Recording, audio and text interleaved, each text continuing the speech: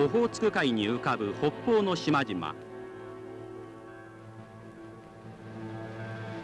歯舞色丹国後択捉北方領土は我が国固有の領土である。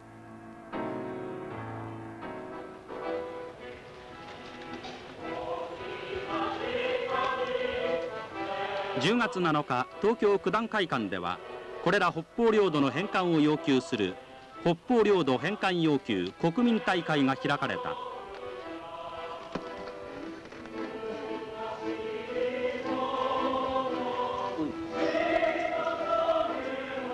歯舞群島の一つ水晶島出身の父を持つ林下恵子さんが一日も早く父の生まれ故郷へ帰りたいと訴え集まった人々の涙を誘った。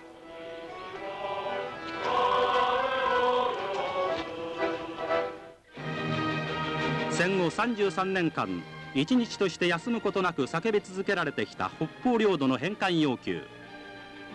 各地で講演会や研修会が開かれ街頭では署名運動が行われた。このような世論を背景に都道府県や市町村では北方領土復帰促進を要求する決議を続々と決定。国会でも昭和48年9月衆参両院で北方領土の返還に関する決議が行われた。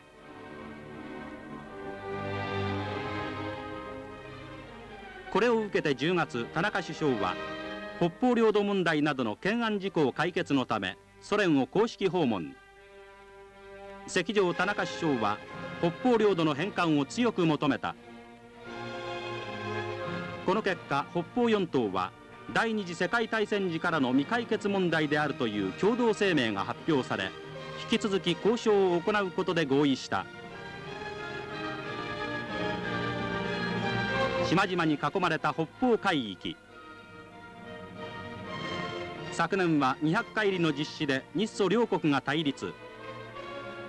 日中平和友好条約の成立で神経を尖らすソ連。返還要求はますます難しくなっている。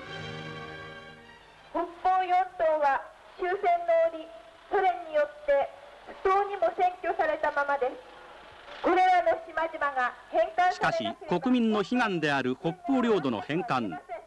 それを成し得るのは国民世論の大きな盛り上がりである。